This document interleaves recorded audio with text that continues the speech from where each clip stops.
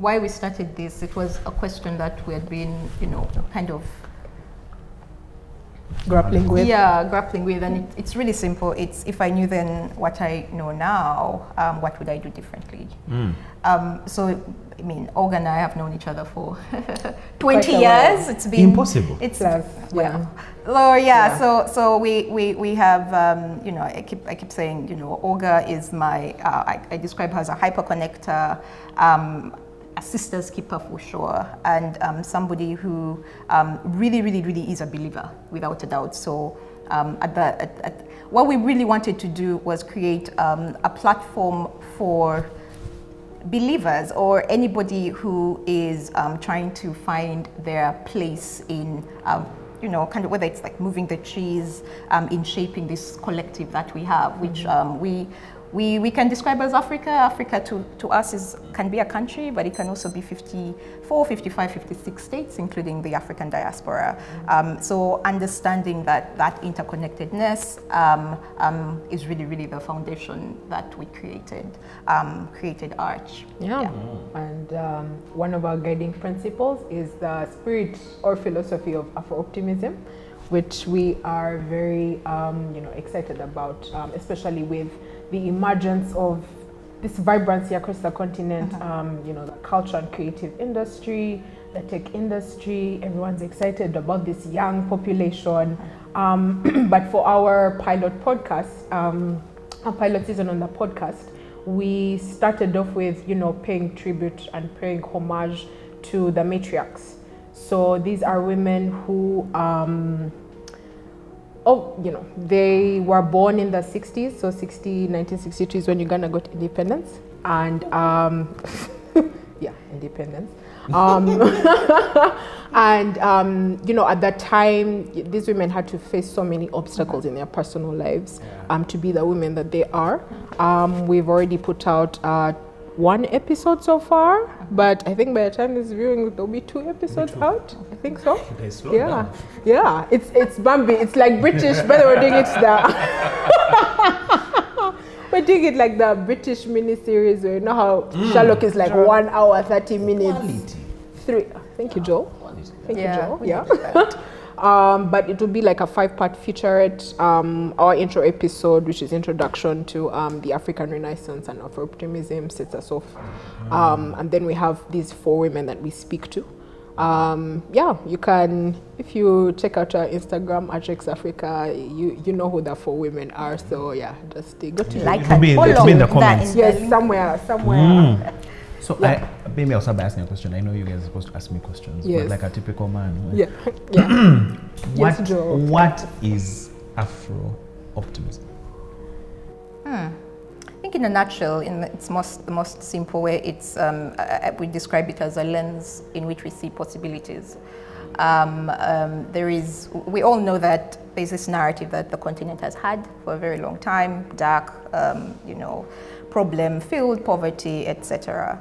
Um, however, there's also very beautiful things that are percolating across the continent. It has, it has, it, it, it, it, it's we've seen it over the years, over the decades, and probably over the centuries. And there's a lot of um, emphasis now about Africa telling its own stories, redefining the African narrative, um, and, and taking full control and shaping our collective future. You know, and it's really based on on on it's on that premise that that we then adopt and really encourage everybody to adopt the the the the, the philosophy of Afro optimism. I describe myself an an Afro optimist. It's really really simple. Do you believe? Are you a believer? And uh, believing can be very many things. Um, do you see possibilities in places that people have probably considered, you know, done, wasted, um, completed? Yeah. And we see that a lot in, in, in, in, in our current, I think, in our current space, we hear a lot of there's a renaissance happening, but this time it's not necessarily politically driven, similar to what we saw in the 1960s. Now we are seeing, you know, music, fashion, cultural diplomacy becoming um, an instrumental tool for um, African identity to, to influence and really shape global discourse. So our music is traveling, our fashion is traveling, our um, mostly our arts, um, and, and that soft power becomes a very you know fascinating ground um, on which we then we, we, we then collectively build. But going back to what Olga actually said about why we're very fascinated with, with, in our chase to go forward, the future, we found ourselves pulling back to the kind of like the past. eh? And, um, and, and I will reference, let me see, there is um, there's a, a Ghanaian novelist, I think it's called Amakwe. Amakwe. So he published a book, a novel in the 1960s. Now, at that particular time, almost all African nations were were were, were, were yeah, freshly new being born, and and and he he he. The book was called "The Beautiful Ones Are Not Here Yet." And Not what yet born.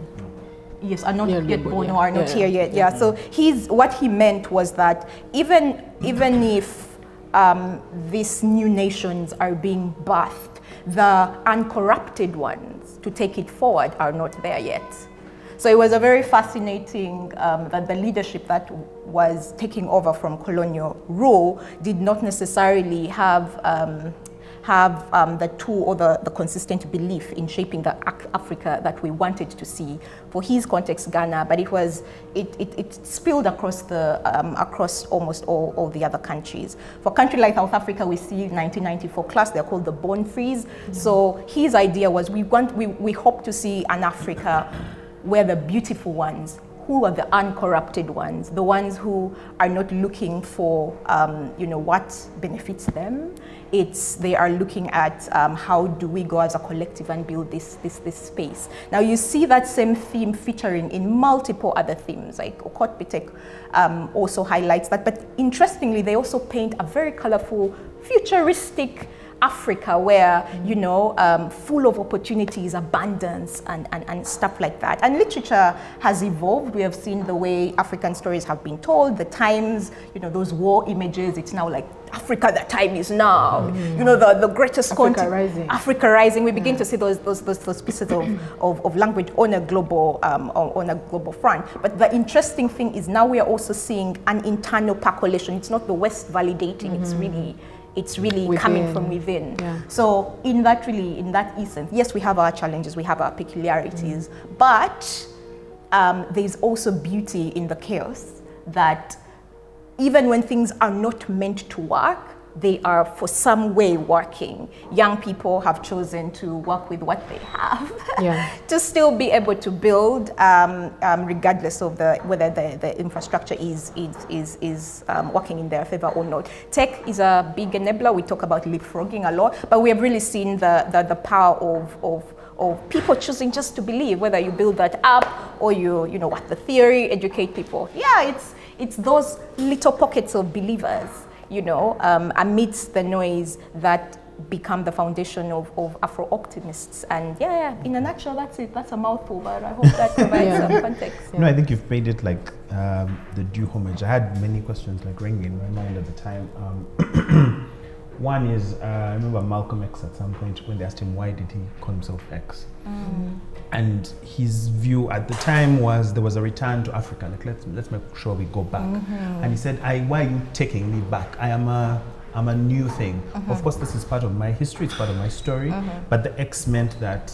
There is a new thing coming forward, uh. and I, um, I don't know how you feel about this, both of you. Sometimes when I would engage with this literature, what I found was a mix of optimism, but also a mix of, I don't know if it's reactionary, but it was like let the the sense of loss that we uh-huh. had. They say, okay, we got colonized, our lands were taken over, and then we lost something, uh-huh. and now we're trying to reclaim it. It, But yeah. when I speak to the older people in my uh-huh. family, they have a different take on it. Yeah. Um, one of the things I'm fascinated by was what did it feel like? Like my father was, he saw the Union Jack go down. go down What? Yeah. And I Yeah. said, what did it feel for you? And he's like, well, I at some point he had mixed feelings because the um, old ways were also not perfect. Mm. Right? But mm. there's something about when you lo- lose it, Mm-hmm. you look back as if, man, it was pristine and Yeah. we're okay and we're mm-hmm. perfect. Mm-hmm. So um, when you talked about looking back, when you look back, what are the things that you kind of are retrieving from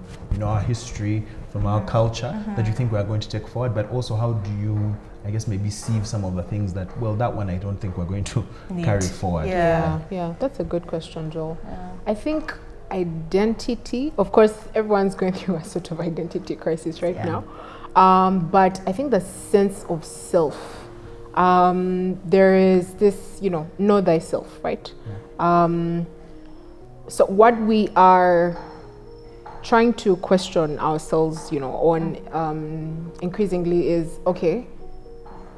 Do people truly know who you know who they are, what their origins are? I'm very embarrassed to say that I don't speak my language fluently, but uh, I can hear and uh, re- You can respond. box. I can box. Yeah. The hearing is great, but the response isn't great, right? Yeah. Um, it's a concoction of languages to respond. Um, but going back to that cultural identity, um, can you speak your language? Can you, um, you know, gather your brethren under a tree, for instance, and like come together and um, try to figure out what needs to be done collectively in order to move the community forward, right? Um, can you, um, so I'm, I'm just thinking about it in the context of like community, um, in the context of um, identifying who, you know, we call them destiny helpers, who in the community can actually help move things forward um, as we build anew um, in the context of building mutual trust. So it's it's those values is essentially so going back to certain values that were very strong and very key on like building societies um, and you know helping move them forward. Um, so things like communal sharing. I think yeah right now there's a lot of individualism that's like starting to creep up here and there. Yeah. and um, people are very isolated. You could be going through a very, very massive challenge, and no one in your friend circle would know. But ah, when it comes time to drink, ah, let's go drink. But you're not, you're not like collectively, um, transparently saying, "Hey, I'm going through this thing, and I need my community to help me go through it." Right? Um, and of course, it's um, it's a double-sided coin because there's also aspects of like things like black tax, which I think is a chip on every, you know, black person's shoulder.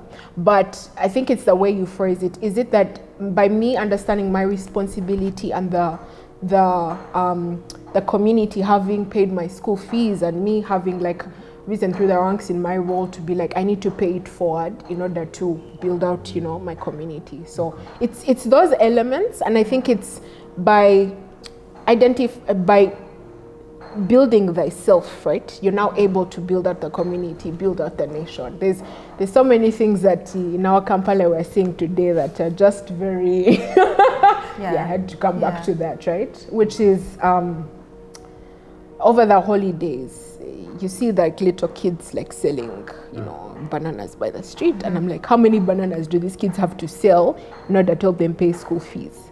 But maybe if there was a way that you know we could proactively say, knowing what we know, maybe um, help guide maybe their parents on like c- coming up with like a circle or something so that they're able to like save money and they'll be able to pay fees so it's it's not as simple as i've phrased it mm. but i think it's the the divorce of like ah my the problems are too many i i don't see my how I can contribute to make that change. Mm. But I think it's a reflection of like, if I know who I am, I know my community, then how does that mm-hmm. spill over to making things better? Yeah. Yeah, I think for me, building on what yeah, Olga's beautifully said, for me it's it's um, maybe twofold, but particularly I have been, I mean, the media. How do we cons- we are shaped by what we read, see, and hear.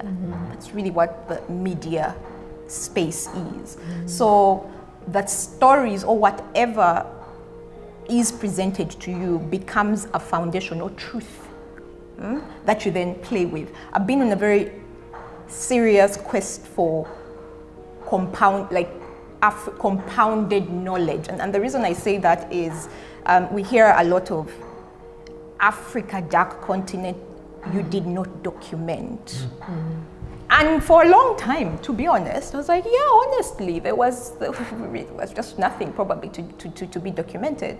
But now, as I, I as I kind of dug a bit deeper, I found that it's just that it's not that we, it wasn't documented. The, mo- the the medium in which it was documented was maybe different, right? Mm-hmm. So our documentation, that whether it was oral stories, whether it was in our fashion, our hair, there was the, in it, we were sending and documenting in intangible ways. Mm. And, and, and, and, and, and it hit me really, really hard when my grandmother, she was 106, she died. We are here at her funeral, and she's survived by 500, I don't know, descend, she had like five, four generations. But because she died too old, um, her people who actually experienced her or knew her were not really there to give us any context. So I know her as my grandmother, but I really don't know her. Yeah. So here we are at her, we at her funeral, and apart from the date of birth and the death date, yeah. there's like 80 years of someone's life which mm. was just not there. Yeah. And as she was buried, in my mind, I was I looked at her house and she said, This is someone who has lived on these grounds for 80 years. And now there's there's, there's like no representation. Yeah. But in my head, I was like, this is a museum. It's intangible. This, my village is a, mu- it's a museum. Yeah. And it's intangible. We just, her stories are buried there, but they, are, they were just not written or told. Yeah. And then I started looking at almost the place. So everywhere we walk, sit, play, was is actually a living museum. It's just intangible, like what you said about the the Kololo um, Independence Oh, Ground. We yes, passed there; yeah. it's boring. Yeah. But on, in 1962, Yeah. there was this entire experience, Yeah. right? So everywhere Pioneer Mall has gone down, but like every place we are in is a was has history pegged to it. Yeah. It was intangible. So I went Yeah. on a quest of how do you document the intangible? How do you document a museum of ghosts? That to me is when I realized a lot of African history is intangible. Uh, Shameless plug, please tell us about Telemuseum Oh, and no. the, the point in It's like time. tele- There we go. There we go. Um, this girl No, no, no, in no. 2014 was talking about VR. Yeah, that's where it began because for me, I was like, how do you document the intangible? And the mediums, the medium that we have right now did not necessarily allow us to have the full multi-sensory immersive mm. experience. Like I can have a video, but it I can't go into the video, I can't relive it. Um, it's recorded static based on time, it's, it's locked to time and space.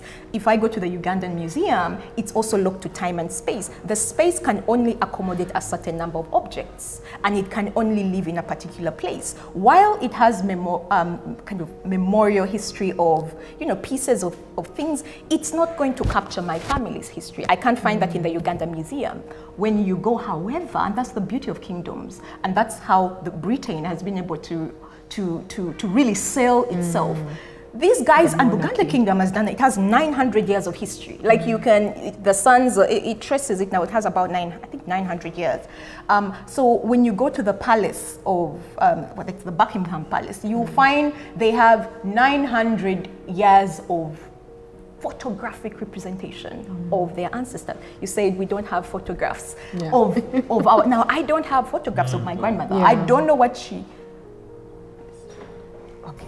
He was going to make a point. Alan, say what you what want. you want to say, yes. Uh, s- sorry Say to the for, for cutting you short. Yeah. But um, I think I attended the funeral of one of my grandfathers who was like rich. His daughters and like government and what, but there was no picture. Like they got a picture and it was at some wedding and stuff, and that was the picture. And so like I pitched to them like, how about drive, take a drive to the village? Take, I mean, it's a bit morbid, but take pictures of all the old people there, so that in case they die, it's like at least uh, Yeah. a picture. You can be Brilliant. this is- Exactly. Yeah. And even as That's why I have my Instagram account.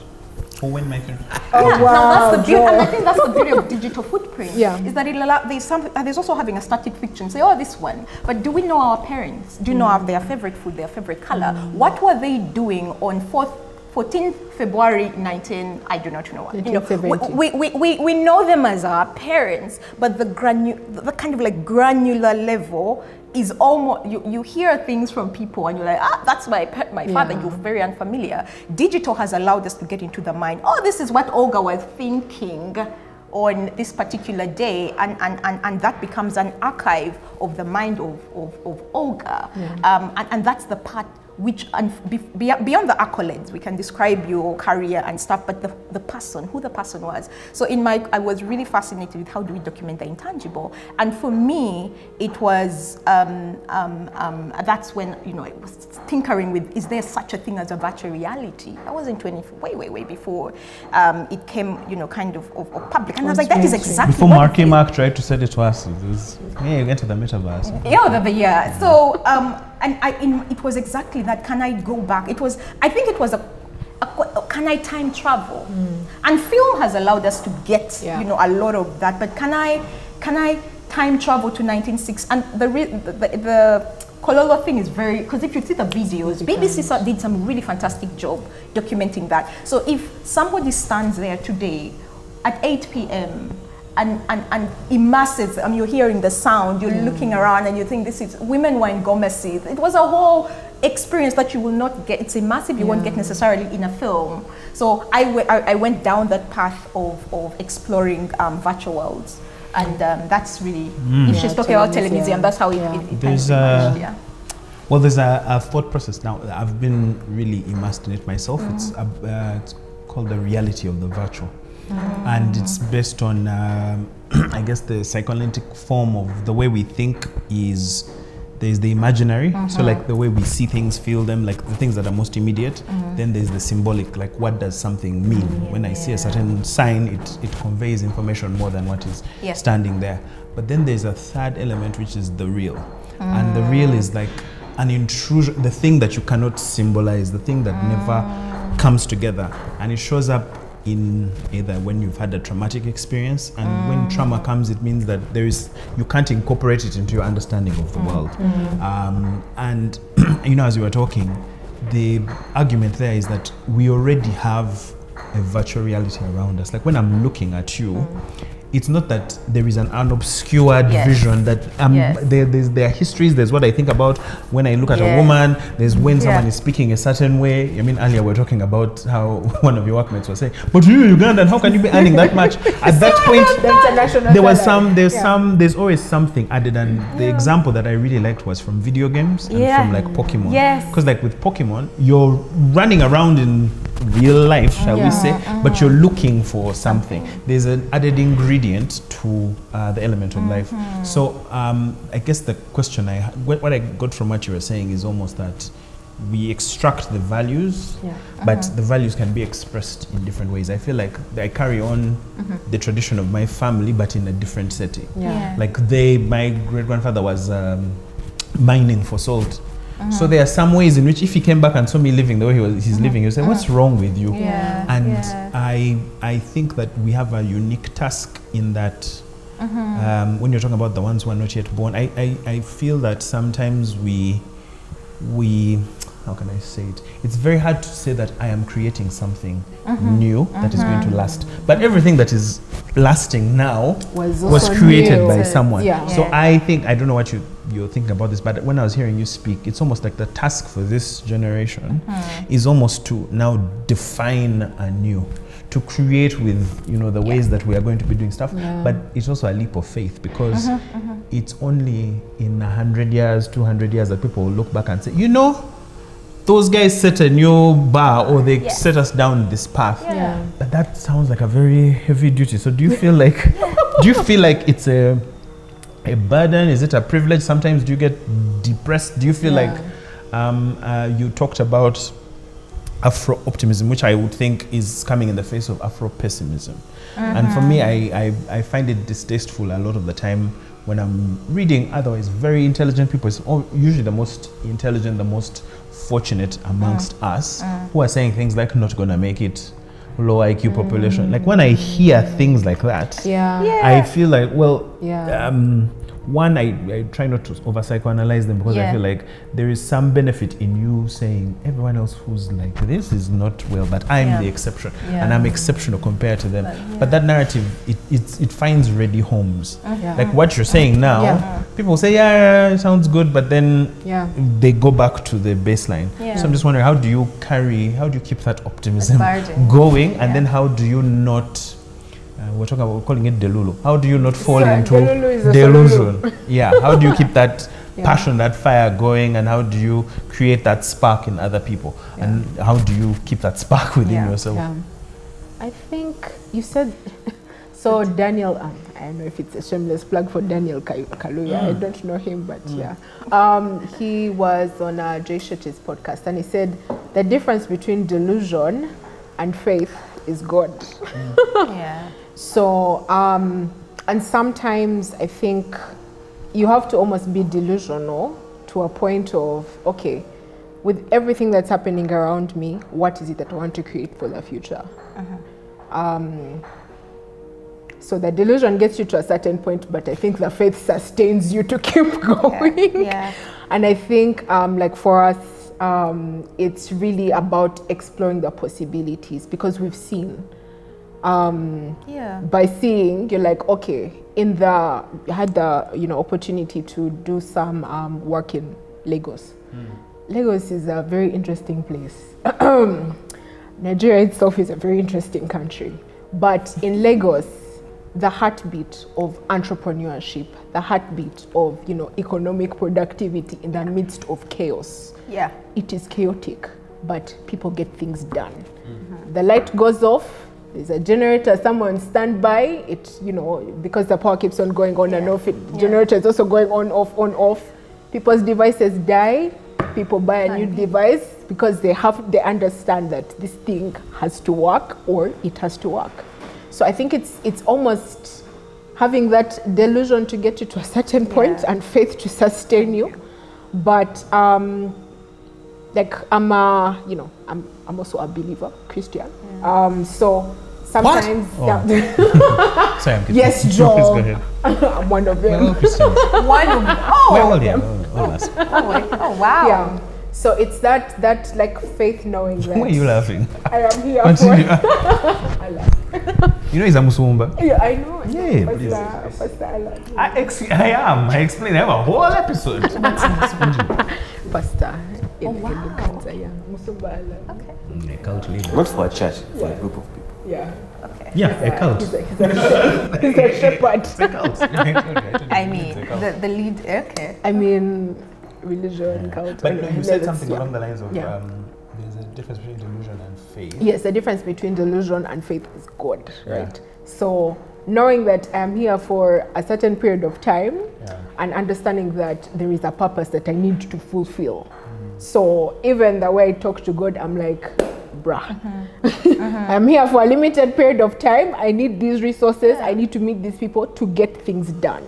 So I think for me, it's that resting on that, knowing that Yeah. I have a purpose to fulfill Yeah. and almost you know a point of delusion like i said delusion then faith so Yeah. knowing that um, everything that i'm doing is going to work out um, the people that i'm going to meet um, i'm either going to help change their lives or they're going to help change mine right? So that's the that's what keeps me going. And um, you know working with Lorna who's equally as delusional. Because this this um, I think it's very it's very easy to complain about your problems. The problems are everywhere. I mean, Oh yes.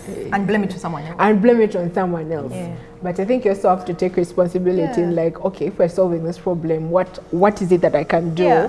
Where do I find the people that have this same delusional mindset to do it? Yeah. And what do we need to get done? Yeah. And just like block out that noise, right? Yeah. Yeah. Um, Yeah. That is from- for, for me as me. For you as you. For me, honestly, I'll comment on something that you said about Afro, like the Afro pessimism, uh, mm-hmm. Afro pessimism. Pessimism. And interestingly, I think pessimists are just frustrated optimists. of course. Hmm. Yeah, they're just like guys. They are believe they're just frustrated. That means it just takes a little bit for them to because they, they probably see they're just more just frustrated. So they still Like become things shouldn't be like yeah, this. they are frustrated Afro optimists. So hmm. it's just the same. We come back full hmm. circle. But anyway, coming back to, um, you know, is this a burden? Is this, um, do, do we even have the capacity to do this? I mean, I think we are the ones who've been waiting for. I think um, at the end of the day, we are. I, I- I keep saying we are a remix of our ancestors. We compound knowledge is compounded. Like the generations after will always be better I hope so. I hope. I than the generations before, and, and that's how knowledge, that's how humanity has been able to, um, um, um, um, um, you know, um, live to this this day. But going back to that, for me, my I think Albert, and there's a quote Albert Einstein says that every day I wake up and I remind myself, this is by the Albert. Fam. So every day I wake up, he says, he says, every day I wake up and I remind myself that my inner and outer life are are a result, and my privileges are a result of the blood, sweat, and tears of the men and women, both dead and alive. Those who came before us to allow us um, enjoy some of the things that we are enjoying today, and therefore I must exact myself in equal measure to give and continue to receive as I have always, um, I, as I have always. And it goes back to when we talk about women. Uh, I will use the, the, the, the women for example. Where we are now, we are really, really a result of people who blood and sweat for us to be able to get education. It's less than a hundred, you know. It's, it's hmm. like a hundred years. The suffragettes are fight, fighting for women's rights to vote. Now we can, you know, take that for granted, but it's not even less than a hundred years ago. Microsecond in the history of Yeah, humanity. absolutely. We were speaking to, um, um, and even like looking at education as it is. Today, you can walk away with a degree. 50 years ago, Mary Stuart had, you know, three, I don't know how, they, they, they had this portrait of, I do not know how few women. And it's fascinating because even the Queen of England did not have a university degree. And I think it's her granddaughter the there's one of the, the two one of the two girls they're the first girls in the to, to have a university degree. And this is the queen of england who has really access because even their training was that you were supposed to be trained along the languages so that you could you know be decent enough to um, you know Colonize the world. not even color because she accidentally she accidentally took over They from her well. dad but so that you could probably be a queen married to, Yeah. to somebody else so you were Yeah. you were trained to to to have the you know kind of like the p- panache for nobility so you watch Pinash. Is it, is it no yeah yeah for No, I the just want to say it again. yeah, no, I'm not going to say it again. So you had to definitely have that, um, you know, know the different languages, um, so that you could be able. But the, the core education, you were not. But if you look at if you look at her gra- the children, the her, her sons, um, the Oxbridge were designed for those the, the boys, right? But the girls didn't even have the opportunity to do that. So when when we, we, we take some of the things For granted. for granted where we are, but there were people who, you know, we, we, we, we interviewed on the late honor, hon- honorable Cecilia Ogwal, and she, she, she, she had a hunger strike Yeah. when she was six years old in her school because I don't know it was, a, and then she had another strike because they refused for a girl to participate in a mathematics contest, and because of the strike, she was, by she had to do it, and she topped Yeah. topped her district and the story after that has been you know magical mm. after that. But it's it's we are riding on the shoulders of of of of of, of, of greatness. And i keep saying we have to exert ourselves in equal measure we may not necessarily be you know it's blood and sweat involved but the generation coming after us should have it better. I'm really hoping that the generation coming after us, I will call them the beautiful ones or the restful ones, the restful ones who don't have to question. The Gen Zs with soft life. yeah, like they don't have to question, you know, you walk into a space and you question your color, you know, is it your a gender your as well, gender, yeah. it's your woman, or you know, as women in. I- Women, are we women in tech? it. I know, like Say women. it, I say I. I We're women in tech. no, no, no, no, Women no, no, bars. no, I'm going to Women in tech. no, yes, we are. We're going to take Yeah. like, Hear this. You're going to say, oh, you're going to say this is very Afro pessimist. Yeah. But I think Yeah. we are, we are being a woman today. Today, a- a woman, a black woman, a woman in tech. It's like having a disability, mm. right? Because you you really have to. The, the systems were just really not designed for you to be mm. included. So I guess that's also the, the part. But I also feel that we have we were very lucky. I, I call I think Olga, we we always talk about how lucky we are because we found ourselves or we continue to find ourselves in places that remind us that there is a place for you can call it delusional people Delulu. or rebels or people who choose to push the, the um, to kind of like push push push the boundaries. But we also my first experience with it is not possible was in university. We grew we, we were in a utopia in our high school where you were told you the world is your oyster. So we were never you know conditioned to believe that you know there's something that we couldn't do because that's how we were we were trained and i keep saying by the way that naivety is something that i see a lot it continues a lot this this reckless optimism that the world is actually the, your oyster there's no bad there's like Detached from material circumstance. yeah, there's that. So maybe that has also helped. Yeah. That I don't necessarily um, feel like it's a burden because we've also been incredibly lucky that we find ourselves connecting with uh, people who vibrate at that same frequency. So that's that's where. Um, But it's a Yeah. task. It's a task that has to be done, or the generation after us will wonder why we failed them. Yeah. If, if people wanted to, they've been ignited by what you've said now. Right? they? You know, Have you like been like for me, me, I'm always, I'm always, fire? say I'm on fire. It's okay. It's not like I'm on fire. always. Yeah. So sorry. Joel, to interrupt you. Like yesterday, we were having a conversation about, um, uh, you know, to, the unpacking PLE performance across districts, Yeah. which is another conversation. Why but did they put them in newspapers still? I know at, symbols. at a time it was, you know, maybe you needed to know. Yeah. Because how else are you going to get the information? No, But- we- you need to know. But now I'm like, why is why are they putting? I find it very ideological that it's um, this was the first girl. She got four points. You too can be here, and then there's a grading of the schools, and then there's like it's it's, a, it's very mixed in You with too business. can be here. and I'm just like, you guys, what the? Yeah, Yeah. you too. It's like You, Yeah. Uh, you too can have No, because it was always used as it's like when parents tell us, "Oh, you know me, I was the first. I, I think All they're all time. hiding. I'm like, I wish I could see, See what you're actually doing. Yeah. Because as I've grown old and I've found, you know, our parents.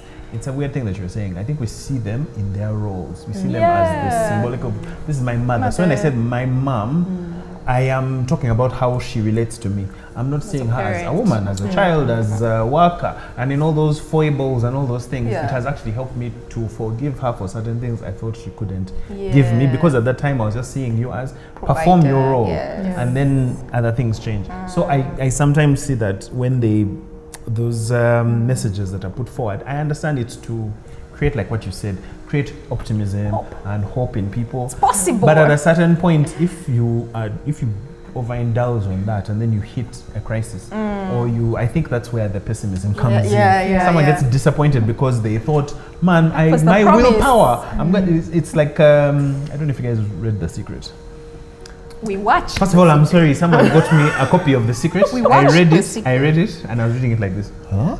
Like, the, I understood what they were trying, Trying to, to- get to, mm-hmm.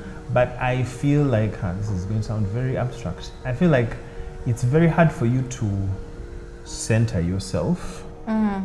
but if you have some authority center you, mm-hmm. it's very comfortable. So if you go.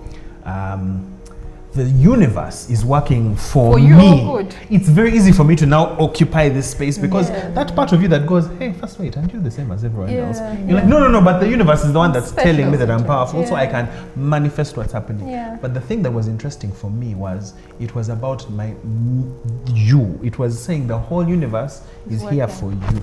Even Yeah. in church, I understand what it means when they say Jesus would have died if only for you. Mm-hmm. I think that can go in the wrong direction because it then just becomes it's all about me. Me. The world features in my story. Mm. Yeah. All of mm. you are kind of part of my narrative, and I suppose why I'm saying that I wanted to find out how can you how can people get into reading the things that you've read, exposing themselves to that? Because what I'm hearing as a thread in what you're talking about is it's not enough for you to be enlightened, for you to go, Yeah. well, I've sparked it, but Yeah. that it, it, for, the, for the, the, the bush to get on fire, you need to get other Yeah. pieces of things on fire and you need to ignite other individuals. So I, I guess that's why I was curious about Mm-hmm. how you found each other.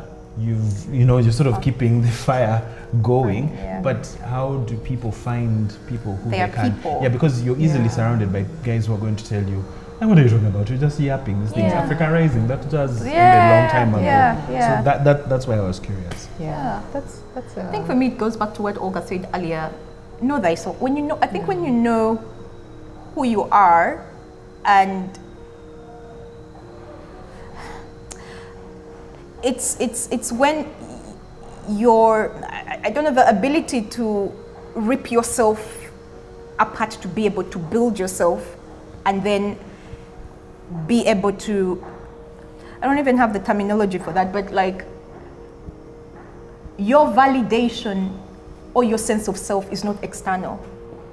Now, it doesn't come from outside. Now, a lot of people, again, status, that's why we're all craving status mm. symbols, we're struggling with all this anxiety. It's because we, are, we, we want to be liked um, and, and, and accepted. I think look, we are look, all looking for this sense of, of belonging, and that's why, I mean, that's why communities are, are born and that, that's how we thrive.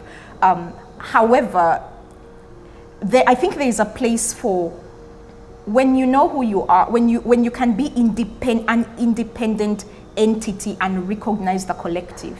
So it's not a conditioning that we should. You know, they say all communities that you have a a fee, there's a A theme as to why there has to be yes like yeah. a shared Some value creed, some, Yeah. uh, Nah, there, value. there has to be some kind of shared value and i don't think you really need i think what what i found very fascinating is figuring out what your that value is because when you know my value then i have the grace and appreciation to recognize olga's value without trying to get olga to You don't have to be exactly like me, and I also am yeah, not threatened. I'm not you. threatened. Yeah, and I can recognize the the independence in the collective. Now, when you have those people, and I think that's why people are frustrated with rebels or artists. I, I use artists because artists usually they have done a lot of self, um, you know, and, and they come off as free beings. So people fear the free person, the person who comes off as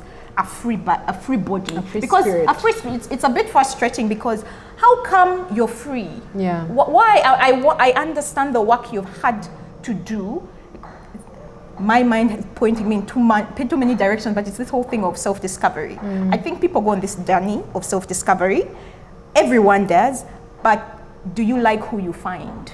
Mm-hmm. So most people don't like who they find and they say, ha, please, whoever that person is, I can't Yeah. reveal you to the world. Yeah. Let us I mean, just Just fall. put you back in Don't the worry Please, please, please, let's just fall back to, Yeah. to, to normality and uh, let's fit Yeah, in, right? yeah, yeah. So wh- anyone who has walked on that self-discovery journey and has been able to find that this is the loner, but do I really like the loner? Will the world like the loner? And therefore I fall back to assimilate because I know that maybe the world will not like loner. So we become frustrated when we see people who have broken out of their shell and look like they are free and then we're like I want your freedom but I don't want, Want to do to, the yeah. work because it's lonely over there. Yeah. Now when it's lonely over there I think the loners my name the loners Oh, let's cancel the podcast. Tacky. the loners. That's the thing. I figured that the lo- lone, L O N E R, that you have to unfortunately be a lone ranger to be able to recognize the fire in other people, mm. and then Say we. that again. I think you have to be able to be a what a lone ranger to be able to ranger. recognize The the fire fire, in in other other people, people, yeah. without thinking it's competition. Like Yeah. let your your Your- light. yeah. I can find your light. Your light. light will shine, yeah. I am all for looking And you're not for threatened. Exactly, like by, it's, it's your light. Yeah. It's it's your light. And now when we begin to, s- and now when you have your light, you can recognize someone else's light without Mm. trying to curate Have you them. recognized my light? What is your light? When, when a funnier person joins the group, So yeah. I hate you. And, uh, So anyway, that, that, I'm digressing, but the point, no, I'm, I'm taking us in a very different direction. But that's the point is, when you have those lights, then those lights form a bigger, community who recognize your tiny role in this bigger complex systems thinking really that butterfly one butter bu- bu- bu- bu- bu- Yeah. the tsunami that's what happens but it, it needs is it pascal is it Dirac? I don't know. The guy who said that if you pluck a petal on Earth, it shifts a Ah, planet. it It, it shifts. shifts a, a, a planet. I don't know one of those bodies. So that Yeah. is rec- now if that's one petal. So the way we are all hyper connect, we are connected in a way, but we find ourselves looking at everybody as either competition or you know but you're la- if, Yeah. if if you've done the, the groundwork then you're in position to recognize. And i keep saying i love i, I see I, i'm a love of beautiful things. I see beauty everywhere and it's really because olga's light is very different from joel's life and That's it can right. never be Yeah. the same That's right. but trying to guys this is the standard procedure in this house this is how we operate and that's why you mm. find there are people outcasts the rebels who break out because they're like i don't fit in the tribe so then those rebels who are those lone rangers find themselves and aggregate and those are the people and that's what we really want to do because hmm. everybody has that ability. Hmm. And then we have the butterfly effect. Because it's not me going to shift everything. Yeah. it's i recognize that i am a tiny bit in the bigger puzzle hmm. but then there are thousands of millions and billions of of tiny bits who need to vibrate at the si- same, Same frequency, frequency. hit resonate frequency, Yeah. and everything busts. And that's And really that's how you basically start a it is. movement. That's it. That's how I look at it. Please, there's only one movement in this country. Ah, Archers! um, anyway. one last question from Yeah. me. Um, why did you call it Arch? Why? Why did you choose a podcast? Why is it that you're Yeah. Featuring all of this? And if you could speak to someone who's been trying to get out there, you know, um, venture, because it's easy to be in your room and think all these nice things, but it's a different thing to put yourself uh, on stage or to put yourself out there. Yeah. Would you just maybe talk about why you're doing what you're doing now, and what would you say to someone who's thinking about, you know, stepping out there and doing something? Yeah. Okay. Um, why is it called Arch? If you watch the opening montage of our AI generated uh, opening Wow, trailer, It's going to hit all the words. yeah. Innovative AI. Yeah, innovative AI. Gener- we, we we really thank Eh? generative Silicon AI for Savannah, you're those, going to- those images. Or giraffe. or rhino. Um, yeah, it's in our opening montage. Should we give it away now? Please do. Okay. That's very special. Okay.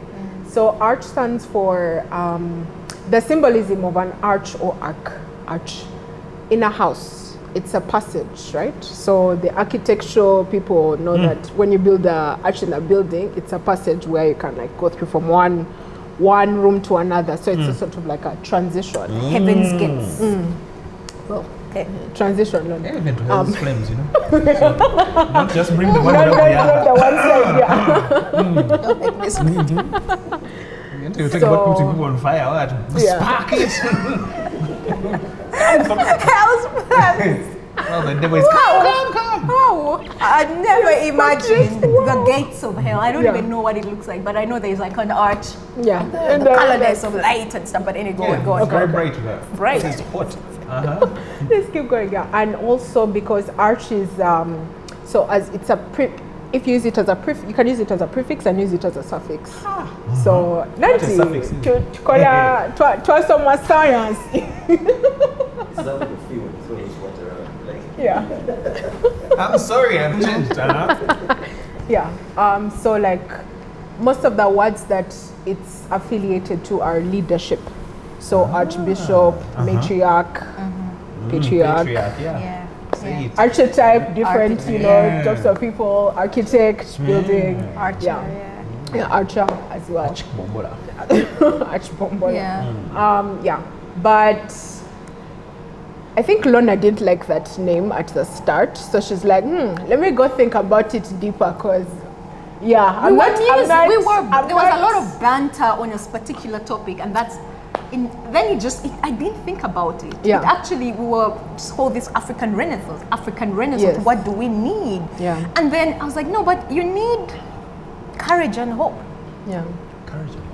yeah. That's it. Hmm. So and then that's just how. But the arch was already set. It's Yeah. just that. Then in our unpacking of the African Renaissance, like no, we actually what we're looking for is courage because it takes a lot of mm. courage to become that lone ranger to be able to return to the park. Yeah. And then hope is just to believe, to believe. If you can, if you can believe, then you're hopeful. Yeah. And I think that to me then summarizes what then arch um, yeah, yeah, rec- Yeah. re- re- represents. And it's, um, as, as Olga said, it's like you, the matriarchs, it's our newsletter is archiving Africa, representing the, the documentation, the historical lens in which we see the future. But anyway, I'm interrupting. Yeah. Continue. How do how do we how do people Natural find flows, us? I think So- you How do you how do exemplified why you work people together. how do people get Yeah. get to um, to yeah. to um, yeah so Start their own instagram to uh, start their own arc so right now we are setting the foundation Okay. um, because we believe in the power of community right so again going back to actualizing your purpose through content coaching community the content side i think speaks for itself. Lorna talked about the power of media and what people are watching what people are seeing is essentially what they'll become. Well it influences what Yeah, they become yeah, um, yeah. but what do we want people to see? What do we want people to hear? Um, and what do we want to influence them to become? Yeah. um, so for our, as I said, pilot season, being the matriarchs, it's really paying homage to um, these women. But we want to unpack other topics. We want to unpack topics around, um, you know, uh, beauty in Africa. But speak about it I'm from a fan. Sorry. I love myself. He likes everything. Beautiful African woman. yeah, beauty in Africa. Uh, what does that actually mean, right? Sorry. Distracting. um, talking about um, women who've built um, product services around um, addressing climate change. Um, women who have played a critical role in financial services as well. So, like the history or evolution of money, but more from women who have built solutions, either working in you know fintech very early days, seeing this evolution occur from Colorations. not commercials, Butter chick. not as far back. Yeah, but yeah, not as far back. Not not Oh, we that need far. to give that butter chick. No, yeah, continue. Uh, that will be episode See, zero this is of now that. to- of Seeing that- behind the scenes of yeah, how things this are is done. That's, We are that's seeing. episode zero of that that, that that particular piece. Yeah, um, but also trying to create a future because we we want to see how to you know create animations and like movies, Yeah. featurettes around how we see the future. So documentation. I think that's also a big part of it, yeah. Yeah. And also building on what Olga said is we, um, as you said, the, the noise of Afro-pessimism is louder. That sometimes you find, I'm sure there are so many people who believe that there's, there's something they can do or they want something better for either themselves or by extension um, the generations after them. But then because of, again, we are shaped by what we hear, read and you, you then, you begin to accept that maybe I'm chasing the wind, maybe I'm crazy, maybe let's just uh, this is not um, something i can you know possibly do and then i just fall back. So there's lots of frustrated conversations that we hear especially people who have, are in their late i think in their 30s into their 40s because they have you know they're at that point in their career where they have what's happening Joel is, is in a trying to see if he's in a good, okay, well, transition. No, it's like the same group. just Yeah, so I think there's this group that has, um, you know, done the work. They have accumulated some, you know, kind of like resources, but they recognize that there is there is more. Yeah. You Yeah. know, and there is that um, actualization or realization that Yeah. um, uh, people call it a midlife crisis, but there are people who are like. "Mm, is, is, this this, it? all? Is this all? this so there's it? that Yeah. group that's saying, is this really it? Hmm. And we hear a lot of those conversations. But because of the, the, the noise, you can easily accept that maybe that's not for a Ugandan girl. Hmm. Maybe that's not for a Uga- maybe it's for people who are in Silicon hmm. Valley or it's an a Harvard thing. You know, it's Yeah. it's too far away. And why we find ourselves also escaping from this kind of noise is um, there is a conditioning that if you're in Uganda long enough, you will begin. There are certain things like expectations, societal things that you know the friend groups are doing, the, investing in the same business. the, the, the- anyway, the dreams are almost shared. 50 by 100. I you can't leave- say leave it. that. It's Like, you who okay, says no, no, no. So they're, they're like shared, shared, shared dreams. But then, if I step, as she said, Nigeria, our peers, the conversations they're having are different. So I realized it's a positioning thing, it's a placement thing. In fact, one of our men, my mentors, when we were still in uni, um, she, the, one of the girls, one of the girls she was, the collective she was mentoring said, people like, oh no, uh, now that I've studied, you know, I will not be able to find a husband in Kenya. And she said, if that's the problem, we will move you to where you will find people who will not be frustrated by you. But when you live in that space, you begin to think this is all. But the world is your oyster. So I think for us, we recognize that there's that group. And we want to just create um, um, safe space. A movement. Uh, uh, uh, It's a place, movement, a canvas, remember. a canvas of dialogue. Nobody is telling you what to do, but it's it's really a canvas of dialogue um, for that particular group that truly believe or are restless. Ah, the restless ones, Mm. because deep inside they know there is something more Yeah. as we build towards the restful ones who will be born. That's really what it is. I and think. we're also using the power of books because we have a partnership with Mahiri Books. Mahiri books. Yes. Yeah, so you know, building that reading culture to escort Yeah. and accompany like the content that we put out. Yeah, first principles. Yeah. Okay. Like he's thinking. What? Ah, not her. no, like first and zero principle thinking. It goes back to the thing about values. Yeah. Is where where what's your where where you ground yourself because most people also don't. They may know it but not able to articulate it. So so that's also very important. First principle, zero principle thinking to allow you then build your mental blocks and then how you view the world and then how you can contribute. So bottom up. That's basically it in a nutshell. Uh, go ahead. As the only father who is here, Excuse Oh me. wow! Okay. Oh wow! Someone calls me dad. For- for- forgive me if I'm a bit Joe, it's, it's nice. not that kind of podcast. Forgive me if I'm a bit, uh, uh, what can I say?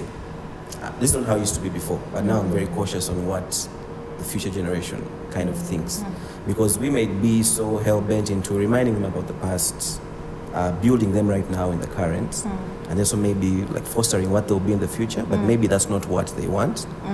Because uh, you, you introduced me to Dhyan Vimal, the Indian master, who have really got deep You're now into listening to the guy a lot. yeah, subscribe to all these things. Yeah. He, talk, he talks about happiness, on how we just need to let the young people be happy. Because, I mean, what have we done? The- our greatest minds created nuclear bombs. Uh, Yeah. people who dug deep into who they are, uh, I mean, that's where we get Hitler from uh, and who and stuff. Yeah. So maybe as we do this, and you, you talked about like adding their voices into, which I think is very important, like Yeah. having the younger generation Yeah. into we think this, but also get their perspective Yeah. on, on yes, I mean, like you, you are part of the struggle, you are the majors, the generals, all these guys who fought, Mm. it's not a time of peace. Yes. Like yes, women couldn't do this, they couldn't do this, but now it's a time of peace. Women can, they can become Yes. presidents, they can do this, they can write books, they can like. How do we understand the times when there is now peace, Mm. and how do we help maybe push to what's next? But someone said after peace, it's, it's liberation, right? It's a liberation. Because, Well. because you, you can No, be but, peaceful, but we Not are. liberated. Let's. Yeah, so maybe liberation is like Like the thing you were step. saying, Yeah. I, I wonder about it because when I was going to uni, I had this thing that, oh, my, my dad is going to want me to do this. And I hmm. picked my course because of him. And then he said, I'm not going to live your life. Hmm. And probably the best gift he gave me, this also reflects in my belief in, well, some people think it's a heretical Christian belief. Hmm. But I think that we constantly want to have someone telling us where we're going to go. Mm, yeah. And the best gift, this is my interpretation, it might not be what you guys Yeah. have. I think the gift that we can give the people who are coming after us is we fought our battle, this is what we've learned, Yeah. but you decide Yeah. where you're going to go. Because I, I didn't have the burden, I, I didn't have the burden of having to live up to his expectations. And yet they were high. In fact, I put those expectations into him. I said, Oh, he's going to expect me to become an engineer, he's going to expect me to do this and all of that. And when I achieved those things and I came saying, Are you proud? He said, I was proud of who Already. you are already. The, the rest was gravy. That, first of all, that Set was the one day I was about to weep. I was like, "The- I wa- I've been pushing myself with this burden to try and get somewhere. And yet, when it was taken off of me, there was also the fear. And that fear was, who am I now? Because I think sometimes we identify even the pessimist thing. At least you know who you are. Even if someone says you're a bastard, you're like, yes. at least I'm a bastard. I know who I am. But then if you have to create you? yourself, it's such a crazy thing. And I- I- you know, you sort of mentioned it as finding yourself. I always look at it as creating yourself. Like Mm. as I do things, as I explore, Mm-hmm. I start to look back and say, oh, I've now become this person. Yeah. And I think that's quite a, a hopeful message. There's a, I think St. Augustine said something along the lines of uh, hope has um, two beautiful daughters, anger and courage. So you have to first get angry and say things shouldn't Yeah. be this way. But then courage takes you the step of doing something. true, and yeah. perhaps what you've captured and what I'm hearing is that a lot of us are stuck on anger. We're stuck on distaste. Yeah. Yes. And that you usually have to drown Yeah. out. Either you distract yourself Yeah. with it or you Yes. you know convert it into irony, you make Yeah. mockeries. But courage, it takes courage to be sincere. It takes courage Mm. to actually believe in something, to actually move. And to me, anytime I hear that, I'm really impressed. So I'm Yeah. really, uh, you guys are made my day. Thank you, Joel. And Joel, thank you so much Yeah. because as we're trying to come up with what this thing was, you were one of the people that we spoke to. Um, and you gave such great insight into, you know, um, because we're, we're trying to get into the content creator game from our our stable jobs. but I think you giving us that push of you start and you see what happens, mm-hmm. right? It mm-hmm. was, yeah, we appreciate that. And I mean, courage. She, she got away Yeah. from the background. Yeah. Yo, yeah, I am, an, and, and, She's, and a, she's a real default. person. She's not a hologram. no, he, Yeah. like that question you asked, and we haven't. We talked about the, the, mm. the generational mandate. Yeah. Mm, mm. because that's what you know you are you are alluding to that each each we are not telling them how they should live but we need to build give them the, The tools. infrastructure Yeah. to be able to thrive in the way that they choose to thrive but if there is no infrastructure then what they have to do is go back in time and try and build those enabling frameworks and do the work we should have done. So we would have robbed them. They generate a whole like and i think that's where we find ourselves. We are fixing problems of 30, 30 years 40 ago. years ago. Yeah. um, the 1986 class found them uganda 1962 we were liberated. However a new liberation the, between then and 86 86 well that's 20 over 20 years late 25 years later they are trying to do the job of 1962 class of here we are 90. yeah hmm? Cla- Class of 90, fam. okay where we are Say now no no no this group now our generation Yeah.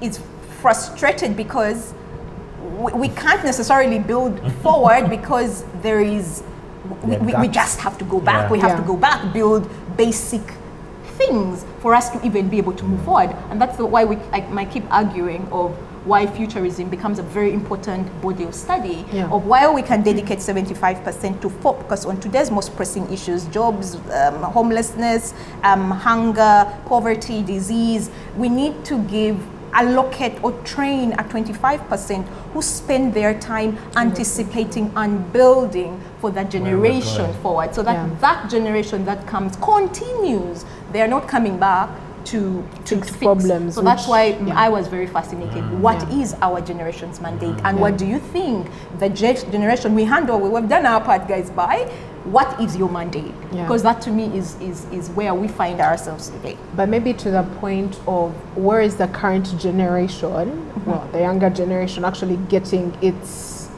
feeding itself from? Mm-hmm. It's external. yeah So, you know, social media really mm. dictates the way, mm-hmm. you know, Gen Z lives their lives. yeah and I think there is this disconnect between the reality that we are here in our, uh, you know, mm-hmm. Uganda or Africa trying to fix certain things versus them seeing Kim Kardashian and saying, ah, I want to aspire to be Kim Kardashian, right? So I think it's about, as you said, giving them the right infrastructure and tools mm-hmm. to, okay, what's so, I'm not going to say, ha, let me rephrase that question. Um, Kim is a businesswoman. I actually respect that business Ah, hustle that's- side of, right? But what what are the what are the things that they can learn from who they are looking who Kim to? is or who No, not not Okay, not okay. not in the sense of what really Kim, yeah, but the, the business aspect, for Business instance, right? Because there's kids who are actually starting businesses. Mm. Um, there's Gen Zs who are doing the whole influencer hustle. Admire that, but sometimes I see the content and I'm a bit um, okay. Yeah. This, how do we guide it in a in a Yeah. productive way? right? Um, in a productive and helpful way. Yeah. So that's the tools and infrastructure to guide and nurture them. So what's our generation's mandate? It's a good. And remember, what- Gen Zs, honestly, I bundle them as our generation. Do you? I think so. Because I would put our gener I, think the next generation become your children. There has to be some Gen Alpha. some very good gap. Mm. Yeah. So 10 years is not a, not a so a- our generation and then what's your hope for your children? And you say, Kido, guys, this is what we hope you guys find. We've Yeah. given you the rails. the tools and rails. I think to to understand who they are Yeah. and how they can build a better society. That's ours or theirs? Ours. And theirs. It's for them to I- it's- decide. I can't for them speak to for d- them. decide. Yeah, but for me as me, For I'm like no, oh, this is ours. things are going crazy. What can I understanding who I am? Yeah. my community, um, what can I do to make things better? Yeah. Yeah. Okay. I think for me, I think our generation's mandate, similar to what you said, is the return. Like it's it's strongly around self identity. What is blackness? What's African? What does that even mean today in a contemporary world? Knowing that we are, you know, globalized. We are not necessarily, you know, just here. Um, so that, that, that sense of identity, where does it come from? What does that look like? Um, I lean towards black consciousness because there's a confidence in, in, in, in, in knowing, knowing um, that you're not less than because of some um, institutionalized um, systems that have made a certain group believe that you know they're more powerful and another a little a little bit less. So for me, that's that that's one. The second one. 100% I think our generation's mandate is economic transformation. I think the generation before us, their job was just financially freedom. Like, I don't know, some bit of, can we just, you know, but for me, I think it's absolute economic transformation. And for, for wealth building, I think it's building wealth and generational wealth, like, seriously.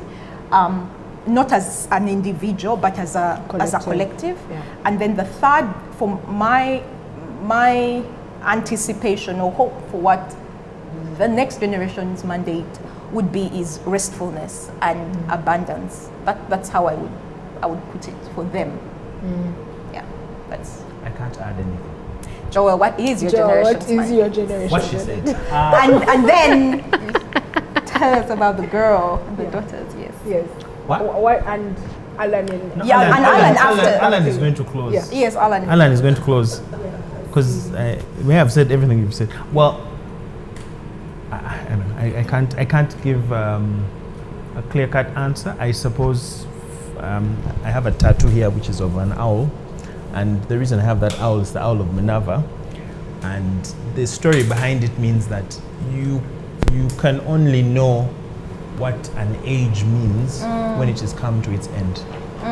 So I feel like what you're describing is the end of a certain period, Yes. and that's why I like the name arc. Yeah. Like, so what yeah. we can define is what we are leaving behind. Yeah. And the only thing that I think we can give to other generations, I'm, um, I'm, I'm reading Capital again, Marx's Capital.